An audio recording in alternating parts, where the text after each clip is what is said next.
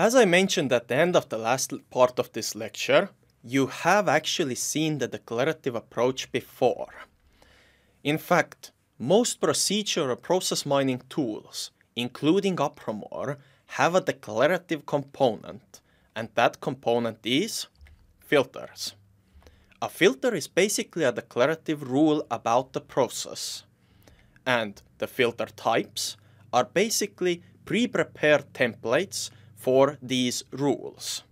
So for example, retain all cases that contain activity X, where X is defined while creating the filter. A trace can match a filter or a rule regardless of what occurs in the unrelated parts of the trace. So for example, retain all cases that contain activity ER registration leaves all other activities open, just as in the declarative approach. Let's take some examples. ER registration must occur. Note that here I'm using existence for simplicity. So this is how we represented it in the previous part of the lecture. Well, the corresponding filter is simply attribute retain cases based on the activity name, ER registration, and the filter comes out to retain all cases that contain activity ER registration. Or ER triage occurs immediately after ER registration. Well, this is how we represented it before. In terms of filters, it's a simple path filter retaining all cases where there is a directly follows relation from ER registration to ER sepsis triage. And the full filter would read retain all cases that contain the directly follows relation ER registration, ER triage between activity nodes. Or if ER sepsis triage occurs, then it is eventually followed by leukocytes. This is how we represented it before, and again, it's a simple path filter retaining the cases, however this time we use eventually follows instead of directly follows, which gives us retain all cases that contains the eventually follows relation ER triage, ER registration. However, there are some caveats here. Let's take if admission NC occurs, then CRP also occurs and vice versa.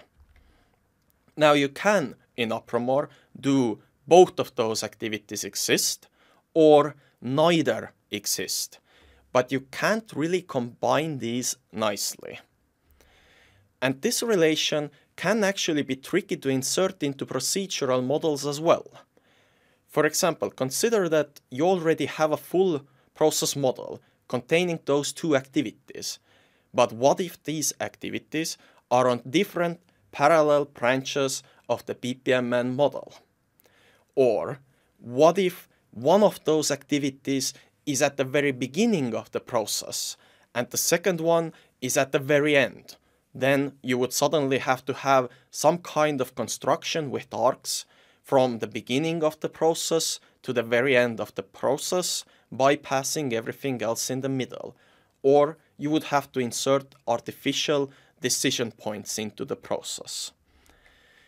So, in general, when we think about rules, then we can actually say, or we, one could argue, that the set of rules can be considered a process model or a set of filters can be considered a process model.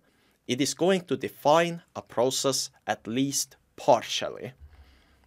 So for example, existence ER registration immediately followed by ER triage and ER sepsis triage eventually followed by leukocytes. Well, this comes out as being just three filters in combination. And you can easily argue that this is a definition of a process, quite a loose definition, but still a definition of a process of its own. But remember, we use this here mainly as an analogy. There is significant overlap and many similarities, but filtering is not intended for describing a business process, it is intended for filtering. Furthermore, a small note on conformance checking.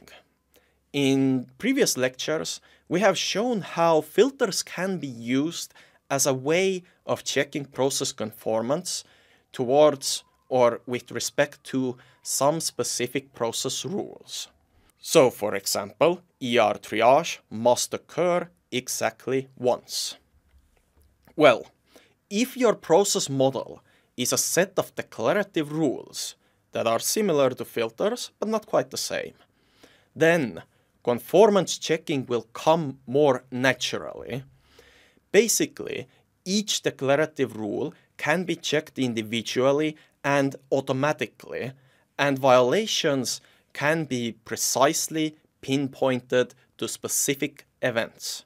And that is one of the main advantages of the declarative approach in addition to allowing process flexibility. And now, in the next part of this lecture, we are going to introduce one of the declarative process modeling languages, which is called Declare.